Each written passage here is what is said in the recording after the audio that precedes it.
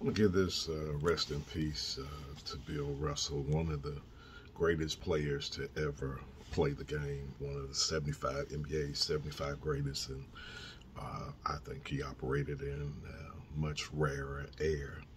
Uh, there's an argument for him on the basketball Mount Rushmore.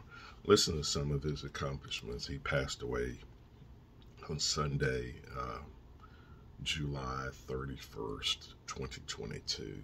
He was 88 years old.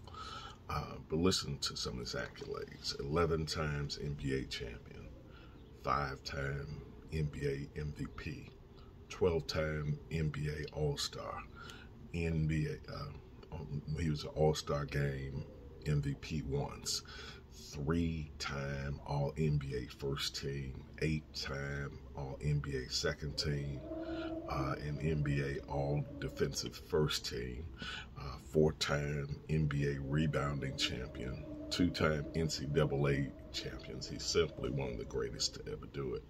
Now, the other challenge we have, since so many people define greatness by rings, where are you going to put Bill Russell? Bill's got more rings than all the people that you are all telling us to count rings uh, how many rings they have. Since it, if it's only about rings, does that mean that Bill's the greatest? He's got 11 of them. Uh, but praying for his family, thankful to God for his awesome legacy. The NBA should be the same. One of the greatest to ever do it. A classic guy, a statesman for the sports, a statesman for black men. Uh, just a super, super soul.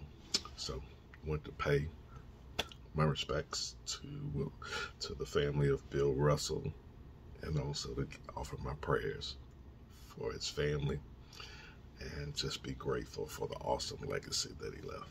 Have a great day.